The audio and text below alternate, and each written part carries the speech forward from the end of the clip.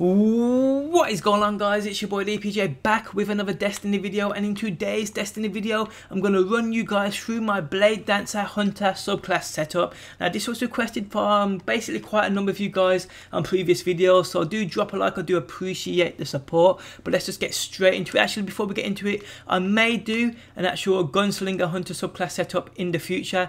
But although I don't really use it that much um, I basically just use, I just stick to my Blade Dancer uh, because I just think the Blade Dancer is basically the superior one out of the two. But let's just get into it. Now the grenade I use is definitely the Arcbolt grenade. It just works better for me in P versus P and P versus E. Um, the jump I use is definitely the higher jump. I do use Blink quite a bit in P versus P. I will switch to Blink quite a bit mainly when I'm shotgunning but other than that I just use the higher jump. It works wonders for me it works way better for me than the better control. And getting that little extra distance on your jump as well is great.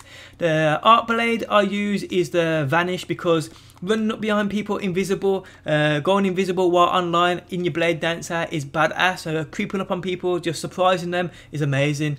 Then I use the backstab because hitting an enemy one hit from behind and killing them is definitely a bonus for me because without this I can hit people three times with a stab and they still don't die. So with this, one stab from behind and they're dead and that's that's what I need. Now these I've set up basically so I've got the highest uh, armor and agility I can get while keeping this quick draw perk as well. So basically my armor and agility is as high up as it possibly can get while using the quick draw perk as well because this quick draw perk in my opinion weapons ready immediately is a very important when playing P versus P.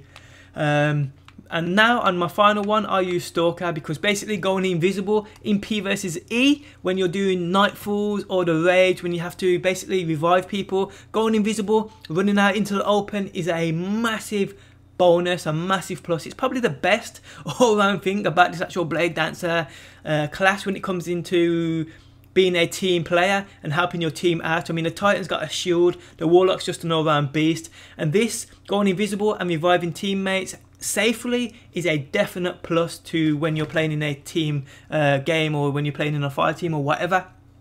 But that's it guys, that is my Blade Dancer Hunter subclass set up and these are the, all the perks I use and I rarely change from these like I said. If I change it's just from higher jump to blink and that is it and when I come out of P versus P, shotgunning, or I change weapon, I go straight back to higher jump and it's as simple as that. But guys, hope you enjoyed the video. Maybe I will do a gunslinger hunter subclass setup. If you guys want it, let me know down below. But thanks as always for watching. Do drop a like, I do appreciate the support. Don't forget if you guys are new to my channel and enjoy daily Destiny content, make sure you subscribe. Thanks as always for watching and peace out till next time.